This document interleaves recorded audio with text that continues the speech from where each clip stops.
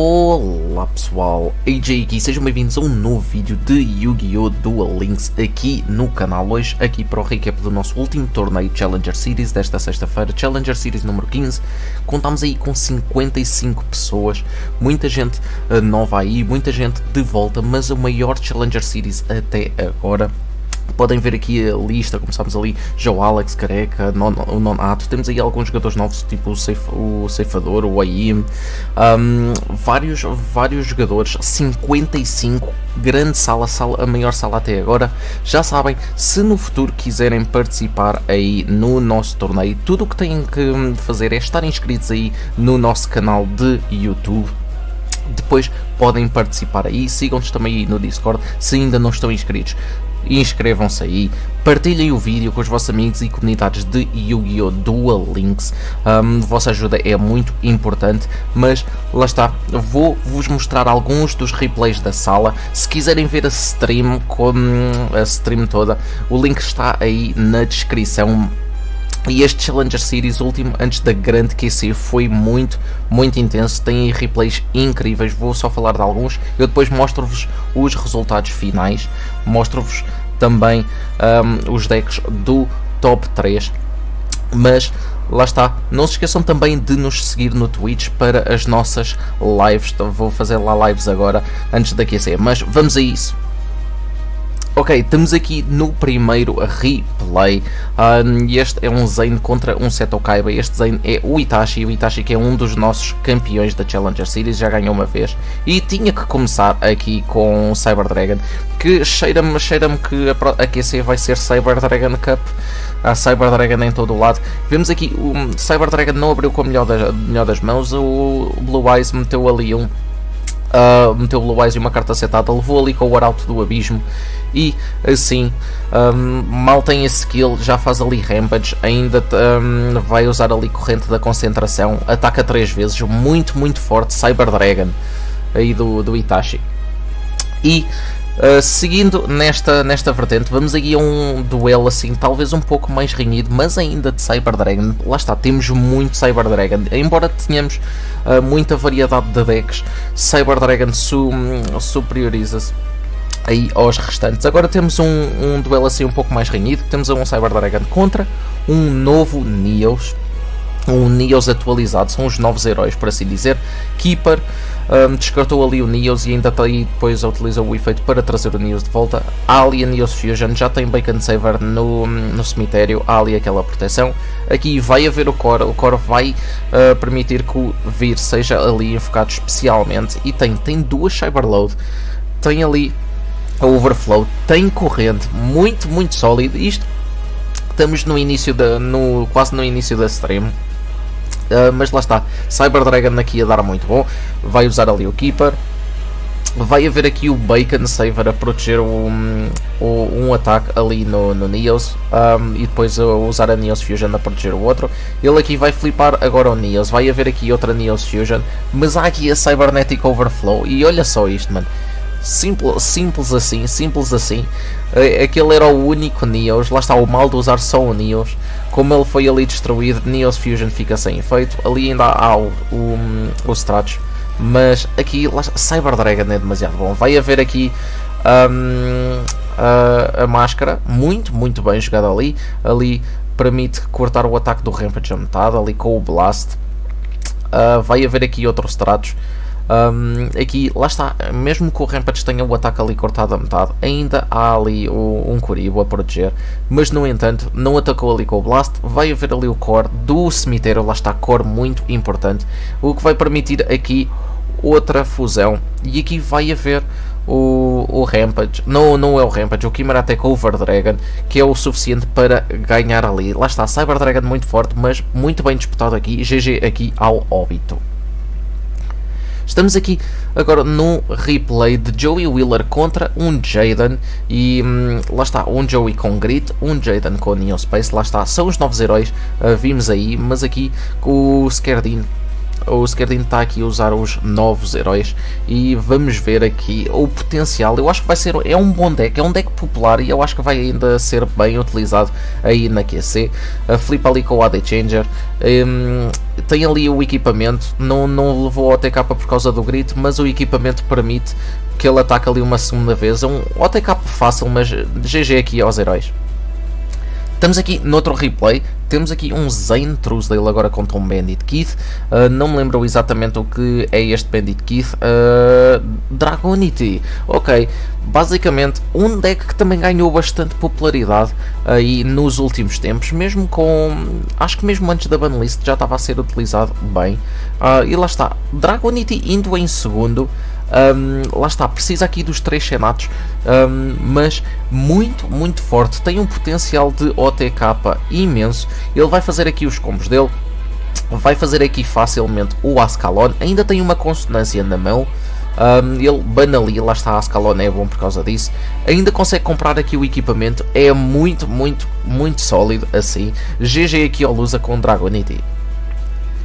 Bem, estamos agora noutro replay. Temos aqui um Jesse Anderson que eu também acho que tem grit. Aqui contra um Yami Yugi. Este Yami Yugi é Balance, era isso que eu ia dizer, só não estou em erro. É Balance e a Dark Magician. Uh, e abre aqui, mão, mão God, tem, temos de falar, mano. Ba bate, baixa já ali um, duas navegações, tem ali Dark Magician na mão. Ele vai utilizar logo aqui navegação. Estava ali contra um Luna Light um, ali o pássaro, vai já ser removido pelo, pelo efeito do, do círculo. Uh, traz aqui o Dark Magician e o Magician of Dark Illusion. Então vai remover ali o, o pássaro. Lá está, Dark Magician também é um deck que não, não levou ali banlist. Então é um deck muito popular.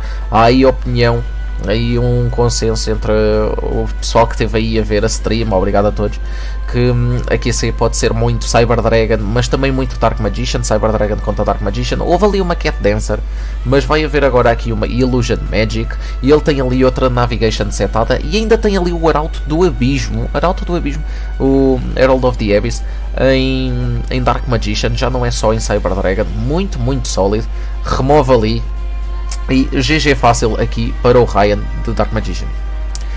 Temos agora aqui um, um replay, lá está, está aí a opinião nos comentários, que esse vai ser Cyber Dragon contra Dark Magician, vários jogadores pensam isso, vamos ver. Aqui temos um Shiranui, e Shiranui teve suporte agora na, na última box, já tem ali aquela magia nova, o Nian estava aqui a utilizar Shiranui, uh, e está aqui a enfrentar um Cyber Dragon, e aqui uh, este, meti este replay porque Cyber Dragon, usando logo ali a, a, a, usando logo ali a skill e perdendo logo ali pontos de vida para colocar o, o Proto Cyber, um, às vezes sem a fusão é um problema. Como vocês vão ver aqui, aqui vai haver Squire, uh, vai haver aqui Level Augmentation, ele vai fazer diretamente o Soul Saga, o Sun Saga, é o nível 10 que um, tem o efeito de, de se proteger e uma das coisas a ter muita atenção em Cyber Dragon neste, especialmente neste matchup, ele aqui se calhar estava dependente da overflow, o Sansaga tem a proteção e bate assim simplesmente a seco por cima do Proto e é GG fácil para Shiranui. Terem atenção os jogadores de Cyber Dragon. E agora temos aqui um Joey Wheeler contra um Mokuba e um deck na, interessante, pelo menos pelo uso da skill. Temos aqui um herói, ok, são os heróis antigos. Uh, abre aqui com, com os três stratos, não é para todos, uh, mas lá está, vai buscar o Faris. Faris descarta ali um stratos uh, e busca o Increase. Vai haver agora Increase, Increase traz o Vian, Vian mete normalmente ao Malicious ou Celestial, aqui mete o Celestial ali no cemitério, ainda remove ali o outro stratos, vai buscar a Poli, baixa só ali a máscara. E lá está, um turno um turno normal aqui de, deste, destes heróis. Vai haver agora aqui um Trinity. E aqui admirei-me um, ele fazer o Trinity e não fazer, por exemplo, um Adoration. Mas pronto, tirou ali uh, três monstros, fez o Trinity. Há ali logo o efeito do Celestial. Há aqui um guarda, Gravekeeper, volta aos tratos para a mão, ataca, ataca ali com o, o Vian, vai fazer aqui um aqui com uma máscara, como era LP Boost e não grito, usa aqui a segunda máscara, não tem proteção ali na mão, GG aqui para os heróis do Coyote. Estamos aqui então, acho eu que é o último replay, se eu não estou em erro, Temos aqui um Harpies Hunting Ground Black Wings aqui contra uma Alexis Road. Uh, não me lembro exatamente o que é, mas temos aqui um Blackwing a ir em primeiro. Invocou ali o Zephyrs, já tendo a Whirlwind. Um, foi buscar o Simon para a mão, certo? Uh, tinha ali o Gale, faz Ancient Fairy Dragon e uma jogada muito popular, uh, seja com o Harpies Hunting Ground, seja com o Kaiba com a montanha fazer Ancient Fairy Dragon, trazer logo o Necroval. E temos aqui um Luna Light uh, Neos, um, também interessante aí. Ele joga ali o Brave Neos em modo de defesa, não pode fazer mais nada. E aqui o TC vai tributar o Ancient Fairy Dragon para invocar o Simon. Uma jogada que lá está, uma maior parte dos jogadores de Blackwing se está a fazer. Ele aqui parte para os outros Synchros. Ele quer fazer o Raikiri para partir ali o Brave Neos ele parte ali, como ele não pode usar a Neos Fusion por causa do Necroval, muito, muito, muito god aqui este Blackwing, GG aí ao TC. E bem pessoal, estamos aqui no fim da sala, vamos ver aqui os resultados, ainda estavam 37 aqui, mas lá está, foi uma uh, Challenger Series muito, muito disputada, vocês vão ver aí os resultados e vou-vos falar aí do, dos decks um, do top, mas muito obrigado a todos aqueles que participaram e aqueles que estiveram aí a ver, e então vamos, vamos aqui aos resultados nos Room Members e temos aí em primeiro lugar e novo campeão do nosso Challenger Series, o Coyote 1992, com 15.500 pontos. E ele só ficou em primeiro lugar no último minuto Uh, passando aqui o Nonato, o Nonato que mais uma vez prova que é um dos nossos melhores jogadores. O Nonato já ficou várias vezes no top 3, um, voltou a ficar no top 2, é a segunda vez que está aí em segundo lugar. O Nonato com 14.700 pontos, uma diferença de 800 pontos, muito, muito bem pelo, pelo Nonato. Depois temos o Tissi que vimos aí de Blackwing, um, aí em terceiro com 13.500. Temos o Fernando, o TGE Fernando teve a jogar de Cyber Dragon. E temos aqui o Miguel Joker, não é o Miguel Joker, é o Caio, o Caio que teve a jogar também de Cyber Dragon, uh, depois ali do quinto para o sexto lugar já vemos, já baixa dos 10 mil pontos, mas muito bem jogado por, por todos, temos Heróis em primeiro, Blackwing em segundo, Blackwing em terceiro, Cyber Dragon em quarto e Cyber Dragon em quinto, um, muito decks de OTK, mas vimos alta variedade, como eu disse, já, um, vejam aí a stream, tem vários, vários decks, várias, várias uma grande variedade de, de decks. Vou agora mostrar-vos os decks do top 3, pessoal. Ok pessoal, estamos aqui no deck do terceiro lugar, do TC, como, como vimos aí ele estava a jogar de Blackwing, e um Blackwing uh, que muito não, não tem assim nada que saber, lá está, ele usa Harpies Hunting Ground e muito, muito normal, tem dois Zéphiros, agora toda a gente tem usado dois Zéphiros e apenas um Bora, tem ali os três Gale, tem três Cris, tem o Orochi, tem aqui o Necroval, que procura essencialmente ali com o Ancient Fairy Dragon, três Redemoinho, é importante, três ciclones também, ok? E ele aqui, ele tem o Blackwing Dragon, provavelmente, não sei, para uma eventual alteração, ou terá alterado, podia ter aqui a armadilha, se calhar tirou. Uh, mas depois tem ali Black Rose Dragon, tem o Ancient Fairy Dragon, muito, muito God, um, fazer o turno 1 e procurar o Necroval. Tem ali Shidori, o Raikiri e o Obsidian, os de, os synchros tradicionais de Black Wings. Muito bom aí o deck de Black Wings. Vamos agora aproveitar para comparar com o deck do segundo lugar, o Nonato. Então, o Nonato, lá está, tem aqui também Black Wings. O deck não foge muito ao deck do TC, como nós acabamos de ver. Muda a skill, lá está, Peak Performance é o deck da montanha. Um, e aqui as diferenças, basicamente a diferença do, do deck do Nonato para o deck do TC é ele tira aqui, tira um Cris, tira um ciclone e mete ali duas das armadilhas e assim sim faz sentido ter o Blackwing Dragon no, no deck, vamos já ver, de resto é praticamente tudo igual. E em relação ao extra, lá está, tem o Blackwing Dragon para, hum, para aproveitar, já que tem a armadilha, tem ali o Ancient Fairy Dragon, o Ancient Fairy Dragon procura o Necroval, tem aqui um Star Eater, em vez de ter, por exemplo, ali uma Black Rose, lá está, também dá para ter acesso ao Star Eater, às vezes se calhar pode dar jeito. Uh, depois tem ali o, então os três synchros tradicionais de, de Black Wings. Black Wings ainda é um deck muito popular, lá está também. Um, dá, dá aí muito bom neste, neste formato assim de género, género QC, como, como é os nossos torneios. Nossas, nossa, as nossas salas são sempre estilo QC. Um, mas Blackwing a dar bom pode ser se calhar uma boa possibilidade um, aí durante um, a QC, para garante QC. Mas vamos aí agora ao deck do primeiro lugar. E temos aqui o deck de herói mascarado. São os heróis antigos, como eu costumo dizer.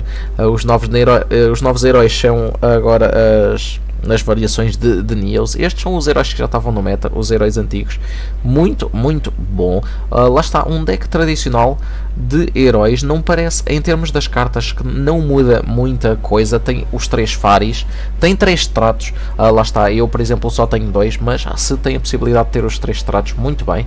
Dois malicious e dois em crise. Nunca queremos ver estas cartas na mão. Uh, a não ser que se calhar um malicious e conseguimos descartar com o Faris. Tem ali um Celestial, tem o Vian que foi agora limitado a 2, está ótimo. Tem ali uma Form Change, tem dois Ciclones, as máscaras e só uma Poly.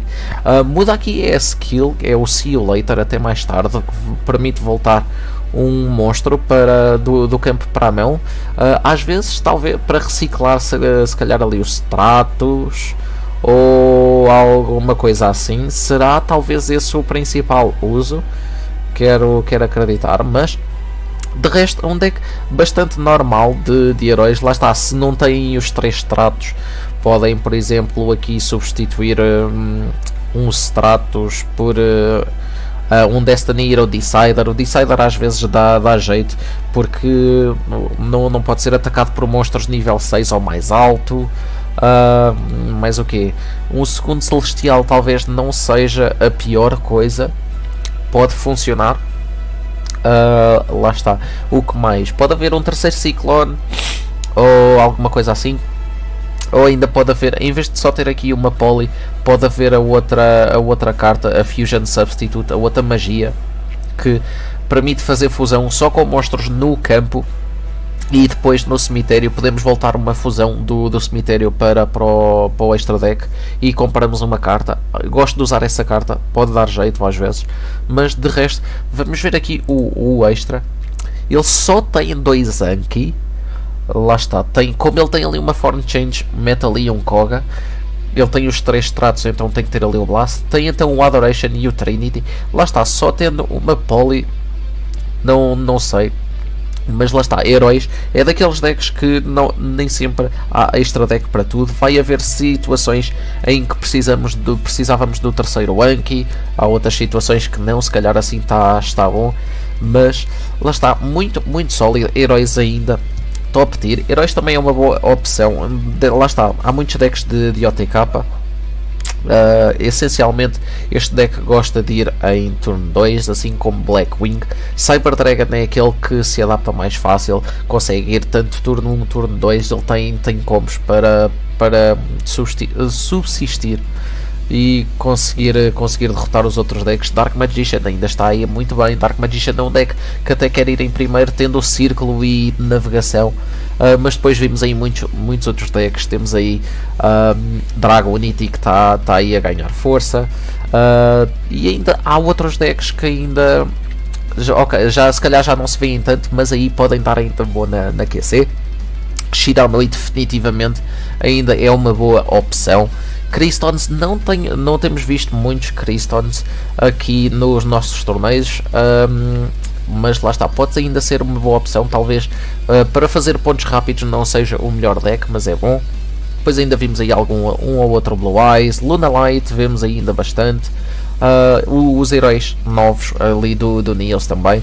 Mas estes foram os decks do, do top 3. Vamos ver como é que corre aí a QC. Já sabem, se tiverem aí opiniões que queiram partilhar aí no, nos comentários, um, podem deixar aí, mesmo do que vocês acham que vai ser a QC Cup.